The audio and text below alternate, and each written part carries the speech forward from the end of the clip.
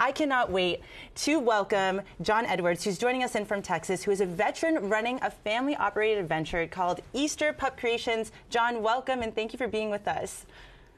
Oh, thank you for having me, Monet and Bishop. Hey, John. Of course. So, John, as I mentioned, I know what your ministry is all about, and it is such a beautiful thing to see how you're growing uh, the ministry and all the good work you're doing. But even the name Easter Pup Creations, can you explain a little bit of the background of how you chose that name, uh, just so people who are watching can get a better sense of it? Well, I like to tell people that as new creations in Christ, we're like young pups, and Easter celebrates uh, resurrection of our Lord. But honestly, uh, it goes back to at the time I started the business, I had this uh, husky Ala- uh, Alaskan Shepherd is a husky Shepherd mix with a bad attitude, and she was my unofficial service dog. And the two of us were so close, and her being born on Easter Sunday, her nickname was the Easter Pup.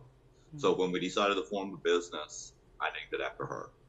Oh, that's wonderful. I get it now. Thank you, John, for that clarification. Because I was wondering, I would have asked you the same question. Now, uh, here at Catholic TV, the Rosary uh, is a big part of every day. We pray it three times a day, every day. And uh, for me personally, uh, I pray the Rosary every day. So, how about you? What does the Rosary mean to you, and why should others be invited to pray it every day? The rosary is one of the few things that will bring me peace in dark times. It comforts me, it gives me strength and guides me. But unlike a lot of people who were born and raised Catholic, grew up in the Catholic Church, and then discover the rosary and the beauty and power of it, I did things backwards. It was the rosary that led me to the Catholic Church.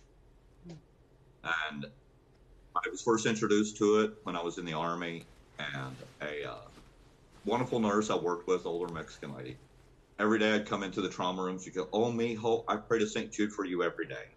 I realized later it wasn't quite the compliment I thought, but I got introduced to the Rosary, and years later, uh, when I was going through a dark time, I was suffering PTSD from my time working EMS and rescue prior to the Army, and then in the Army I was trauma and pediatric trauma.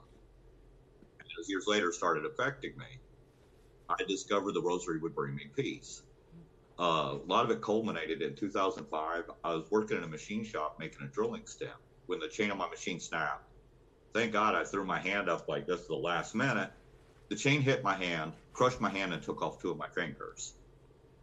Been through a number of surgeries, hand's been reconstructed. And I went to a really dark place. My family even didn't even know what to do with me. Hmm. It took about a year to learn to do basic things with my hand and about a year later, I remember telling my wife, I'm supposed to make the rosary. She thought I'd lost my mind. But I just started making them. And by making them and praying them, I started finding a peace I hadn't known before. Hmm. It just started me on my journey, leading me to the church and diving deeper into the rosary. But more importantly, I found the real power and beauty behind it. Wonderful. That's a beautiful story, John. And even, you know, the process of making the rosary beads, of course, we have one here. Where do you draw the inspiration of, you know, the patron saint that's going to be based off of the rosaries that you're making? Or what's the process of even making these rosary beads like for you? A lot of times I'll, I guess I'm inspired by different saints or I'll see a centerpiece. Sometimes it's beads and I'll see different beads and color combination. I'll think, you know what, that reminds me of this saint or that saint. A prime example of the rosary I've been carrying in my pocket. Normally, I always carry a Padre Pio rosary. Here recently, I started carrying this. I don't know if you can see it. It's a uh, Saint Maria Goretti that I made, and that inspiration came from back. It was on All Hallows Eve. Uh, Father Carlos Martins came to my parish with his uh, relics of the church, Treasures of the Church exhibit, where he explained the meanings of relics, the power of relics in our faith, but also told the story of Maria Goretti. And I'd heard of her, but I didn't know a lot about her. And him telling her story and the power of forgiveness, I just felt like someone reached in my chest, grabbed my heart, just almost ripped it out. And then afterwards, you get to go and experience over 150 relics plus the true uh, relic of the true cross, Mary's veil, uh, the crown of thorns. And it was such an overwhelming, power, powerful experience for me. And that kind of started me on the path. I was like, hmm, I need to learn more about Saint Maria, which led me to making a Maria Goretti rosary. Hey, John, by the way, I was ordained a priest on the feast of St. Maria Goretti. Just, just throwing that in, a little, you know, background Well, info. hey, uh, I'm a Knight of Columbus, fourth degree. I understand you are too. You have a heart for giving back. How does your uh, ability to, uh, desire to give back to other people, how does it show forth in your work with the Knights? Uh, with the Knights, there's just so many opportunities to reach out and help the community. Uh, I became a Knight in 2021. Being around such amazing gentlemen, uh, the leadership, the mentorship, diving in and seeing so many ways, not only can I help my parish, but help our community.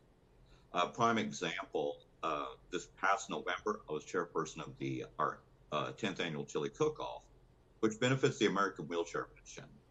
Uh, Chris Cernite, Chris Lewis, uh, the son of Jerry Lewis, is the president of that organization.